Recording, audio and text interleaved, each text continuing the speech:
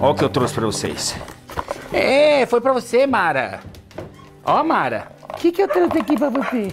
O que, que eu trouxe? Olha que sensacional essa ideia da Furacão para animais que tenham pelos longos. Sempre vira um. Meu, uma babação um cachorro que tem pelos longos quando vai beber água. Enfia a cabeça dentro do pote, blá, blá, blá, fica uma bagunça. Aí vem com toda aquela barba né, molhada é, de água e ninguém gosta disso. Então, os caras desenvolveram uma tigelinha que tem esse esse suporte que fica dentro da, da, tigelinha vai elevar o nível da água e, e vai permitir com que eles não... Quero que você mostre água aqui, ó. Eles nunca obedecem, esses caras. É, que faça com que não esparrame toda a água. Muita calma nesse momento que eu tenho que montar um negócio para vocês. Calma.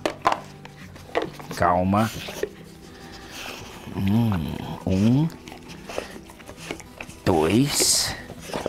Três. Ainda vem um reserva. Eu sei, eu sei. Eu também te amo muito. Também te amo muito. Vamos ver, Marinha, se funciona com você? Você não, seu estabanado. Ó.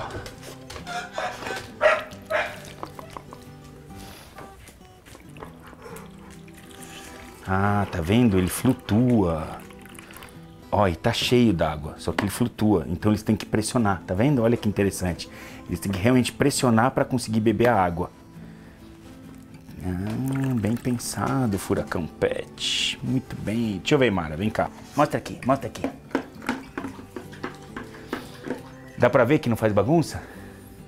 Aí.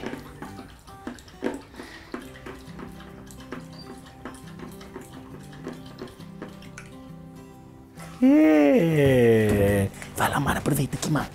Aqui, ó. Aqui, Marinha. Eu coloquei aguinha pra você, essa porcariazinha.